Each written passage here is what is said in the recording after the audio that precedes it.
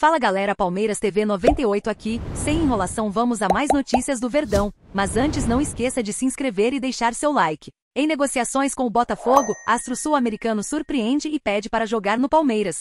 Com apoio de John Testor, o Botafogo vem nas últimas janelas, investindo pesado na chegada de reforços. Desde o fim do ano passado, quando acertou seu retorno à Série A, o clube vem contratando e sondando diversos grandes nomes, sendo o principal deles James Rodrigues.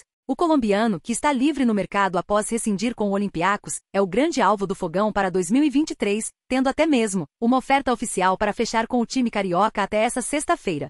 Todavia, James não é o único astro sul-americano na mira do glorioso. Quem também pode ser reforço do time nesta temporada é Matias Rojas, destaque do Racing e que, assim como James, possui proposta formal do clube botafoguense. Não obstante, embora esteja de fato interessado em jogar no Brasil, Rojas parece ter o desejo de atuar por outra equipe. Isso porque hoje, 17, o portal de notícias Gol.com divulgou que o atleta teria se oferecido ao Palmeiras que até o momento não se posicionou sobre a contratação do atleta. O jogador, que atua como meia, vem sendo o principal jogador do Racing. Em 2023, já são sete gols em 13 partidas sendo, um deles, um belo chute de antes do meio-campo, na estreia pela Libertadores. E você torcedor alviverde, o que acha da contratação de Matias Rojas no Palmeiras? Deixe sua opinião nos comentários.